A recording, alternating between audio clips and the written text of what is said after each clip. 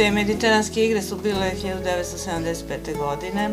i to, ta godina je bila vrlo važna za jugoslovensku odbojku tada, s obzirom da je te godine organizovan e, evropski šampionat u Jugoslaviji i e, finale je bilo u Beogradu i, muško, i muški i ženski šampionat. Naša reprezentacija je bila u grupi sa tadašnjim DDR-om i Mađarskom i igrali smo u pretakmičenju u Rijeci. E, te godine je bilo jako, za nas jako naporna što se tiče treninga i priprema, a kao neka predigra su bile mediteranske igre u Alžiru, znači cilj je bio evropsko prvenstvo, ali su jako bile bitne i te mediteranske igre. E, moram priznati da je za našu reprezentaciju tada odlazak na mediteranske igre nekako bio kao jedna mala olimpijada. E, sve je to bilo vrlo fascinantno.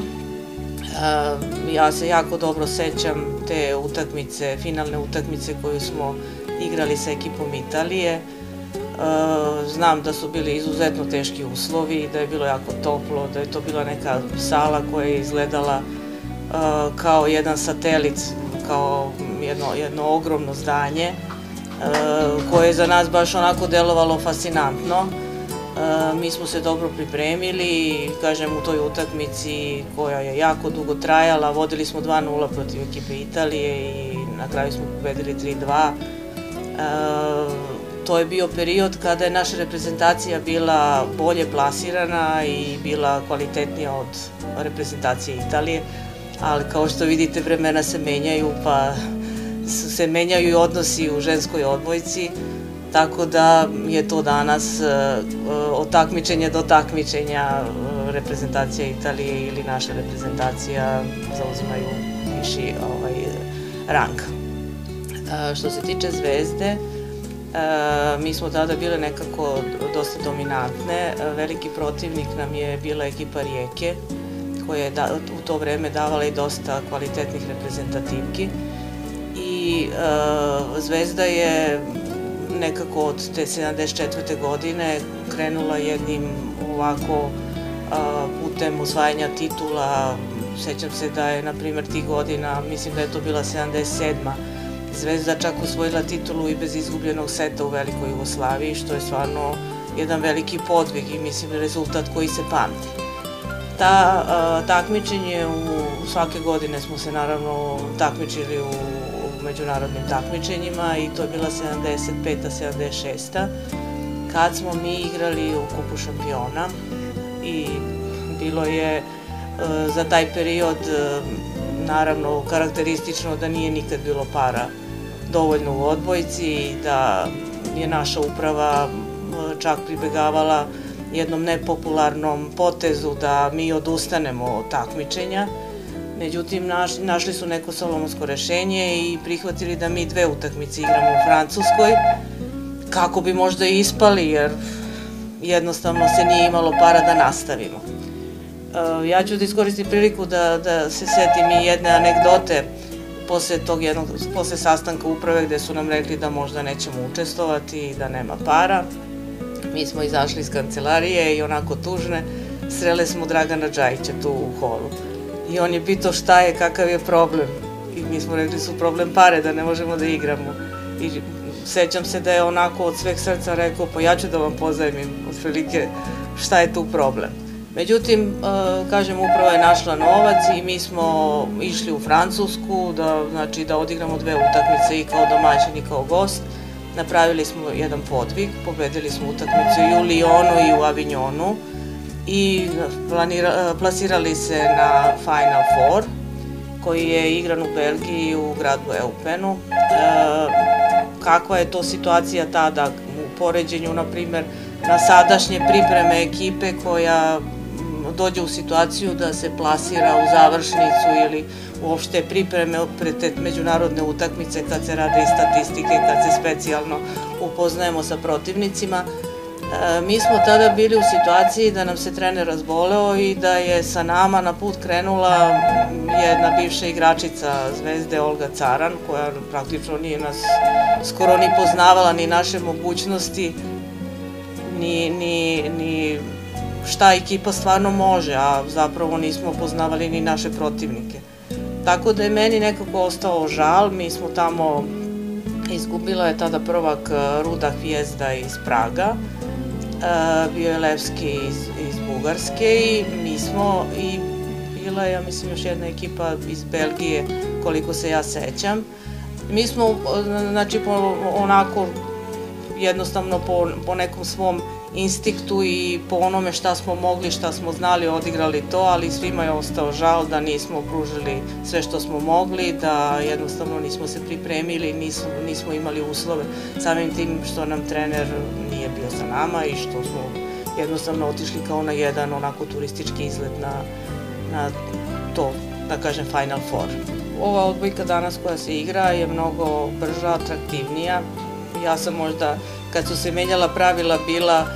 bila nekako skeptična kako će to izgledati, međutim, mislim da je to pravi potez i da odbojka koja se sada igra bez onih promena, a, koje su trajale jako dugo i koje su samu igru učinile manje atraktivnom, uh, je doprinela da je sada odbojka sport koji je stvarno jako interesantan, vrlo dinamičan do kraja i mislim vrlo napet.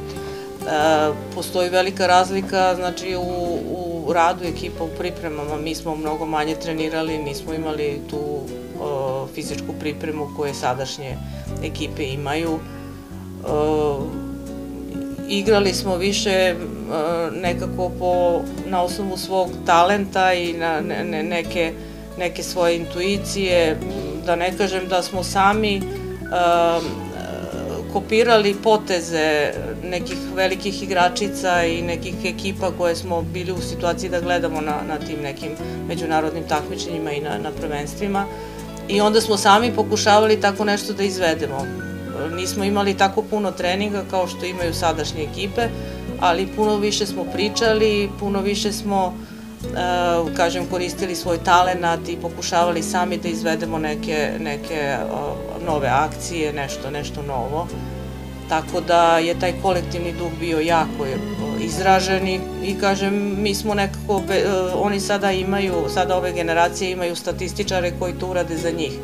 A mi smo nekako bili e, u situaciji da sami pravimo statistiku, da sami pravimo pripremu za utakmicu, naravno uz pomoć trenera, ali bez nekih snimanja, bez, bez nekih statistika, bez nekih linija napada ili već odbrana koje, koje se sada rade, a da ne kažem da, da fizička priprema koja je danas poprilično zastupljena i mislim da jako puno pomaže igračima da se spreme, da izdrže taj napor, mi nismo imali u tolikoj meri, mi smo dosta radili na tehnici. Ja sam bila igrač koji mogu da kažem da sam imala veliku sreću da sam bila jako dobro tehnički obučena, pa mi se čak igrala sam primača, pošto tada nije bio korektor, ali mislim i jači, bila sam i, i, i odličan pucač naravno. Igrala sam primača, ali se desilo da sam na jednoj utakmici Crvene zvezde u Kaštelima igrala dizača, pošto su nam se dva tehničara povredila i ja sam tako tehnički bila spremna da sam preuzela tu ulogu i vrlo solidno odigrala. Mi smo pobedili tu utakmicu, znači poprobala sam se i na, i na toj poziciji. A, što se tiče ovih rezultata u Zvezdi, a, mogu da kažem da je to bio jedan sjajan period, da sam ja osvojila sa Zvezdom sedam titula, pet kupova, igrala taj Final Four kupa šampiona i nažalost imala sam zdravstvenih problema koji su opet bili vezani nažalost za Alžir, ali u nekom drugom momentu, tako da sam i relativno brzo prestala sa svojom igračkom karijerom. Jesam i moram priznati veliku zaslugu za to ima Aleksandar Boričić koji me pozvao da, da ostanem aktivna u klubu u momentu kad sam prestala da igram, kažem, iz zdravstvenih problema vrlo mlada, sa 26 godina. Ja sam to prihvatila sa velikim zadovoljstvom jer sam obožavala da igram, obožavala sam odbojku i počela sam da radim sa mlađim kategorijama ovde u klubu. Za njih je, za, za te sa kojima sam ja radila, je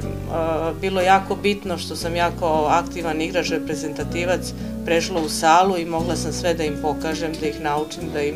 ubrzano prenosim svoje iskustvo, da puno pričam s njima.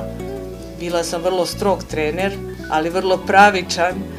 i mislim da, da me moje bivši igračice, ima i sada oni koji rade u Odbojkaškom savezu Beograda, me se sećaju i e, vidim da, da sam radila to onako na pravi način, jer, jer sam im ostala u lepom sećanju. Znači, tražila sam puno, puno sam davala, pokazivala i, i prenosila svoje iskustvo, ali sam bila vrlo stroga. Pa ja sam studirala psihologiju i moram priznati da uh, je ta moja uh, želja da studiram psihologiju zapravo na osnovu nekog iskustva iz odbojke i poznanstva sa Ljubišom Lazarevićem koji je tada 75. godine u tom pripremnom uh, delu radio sa nama dosta i nekako meni sa mnom je dosta pričao, mene to interesovalo, ja sam se raspitivala, a i nekako uh, iz nekog iskustva sa svojim sa igračicama pojedinim videla sam koliko bi psihološka priprema vrhunskih sportista bila jako bitna. Uh, ja sam upisala psihologiju sa željom da budem sportski psiholog. Uh, moram priznati da malo sam se razočarala jer taj smer na fakultetu tada nije postojao i neko ko bi završio školsku psihologiju ili kliničku psihologiju morao bi da bude pravi pionir i da zapravo potpuno iz početka radi i istražuje na, na tom polju. E, kažem, meni je nekako ponuđeno u nekom momentu za mene bitnom da ostanem profesionalac u odbojci koju sam ja najviše volela, koja je bila moj hobi i, i, ja sam to svoje znanje iz psihologije prvo i koristila ovde u radu, kad sam, naravno, kad sam bila trener, kad sam počela da radim u kancelariji i odustala sam od trenerskog posla baš e, iz razloga što nisam nikad bila površna, nisam, nisam želela da radim nešto onako površno, a da bi se čovjek posvetio jednom ili drugom, to je tražilo ipak dosta vremena i dosta angažovanja,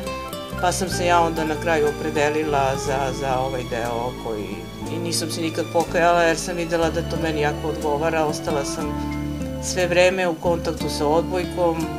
nekako kao da sam i dalje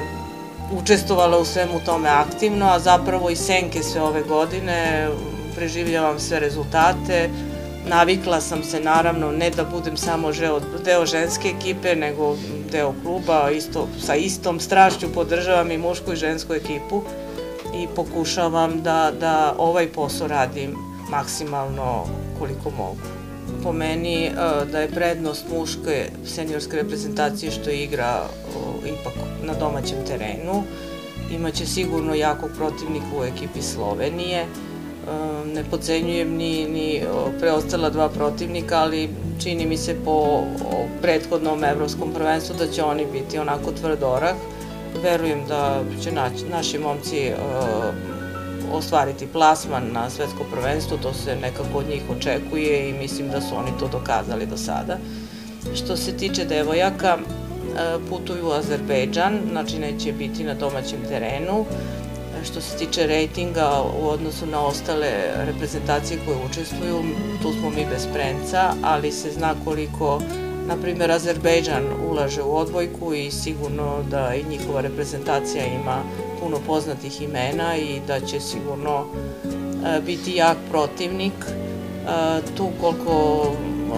tu, tu mi igramo sa Izraelom, mislim da nije to neki protivnik e,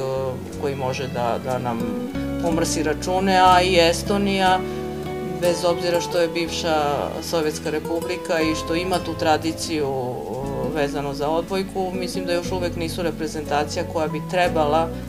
da ugrozi našu reprezentaciju. Znači ja prognoziram da bi trebala jedna i druga reprezentacija da se na ovim e, kvalifikacijonim turnirima plasiraju na svetsko prvenstvo.